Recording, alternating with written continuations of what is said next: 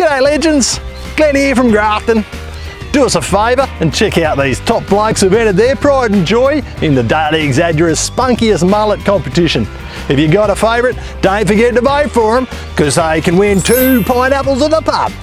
Good on yous.